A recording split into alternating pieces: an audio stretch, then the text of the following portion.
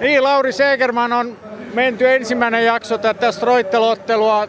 Tilanne 3-3 taululla. Miltä peli näyttää?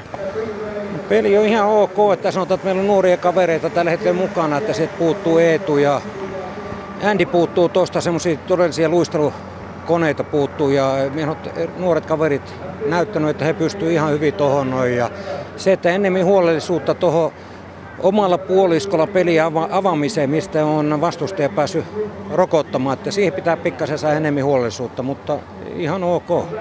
Hyvin on pysytty tuossa roittelivauhdissa. Meidän maalit kulmasta Aksilöi hienon lyönnin ja, ja pari hyvää pelitilannemaalia.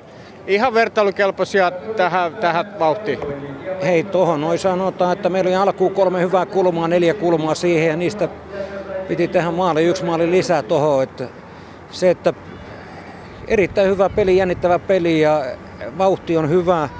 Ja se, että toi, niin kuin sanoin, että nuoret pojat ovat kasvaneet hyvin tässä kauden aikana ja kantaa vastuuta. Ja meiltä kuitenkin puuttuu tuosta keskialueelta semmoiset luistelumoottorit, niin kuin Eetu puuttuu tuosta. Ja mikä tuo siihen pelitempoa lisää ja sitä vauhtia lisää.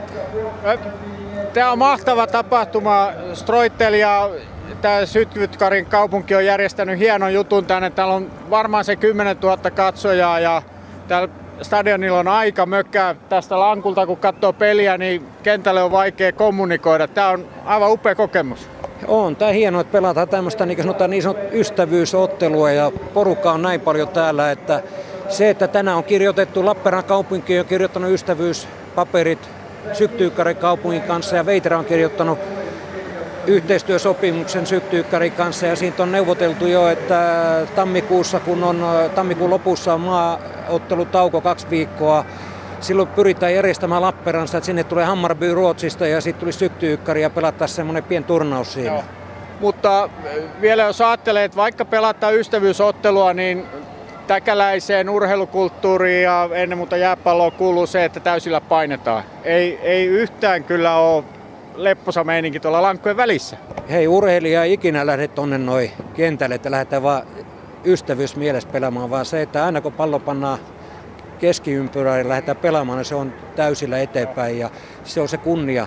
Se on se sydän tuolla ja yrittää hakea sitä parasta mahdollista saavutusta. Ja tämä antaa kyllä Veiterän poille, kausi päättyy tähän, tämä on selvä, mutta tämä antaa Veiterän poille varmaan aivan mahtavan niin päätöksen tälle hienolle kaudelle.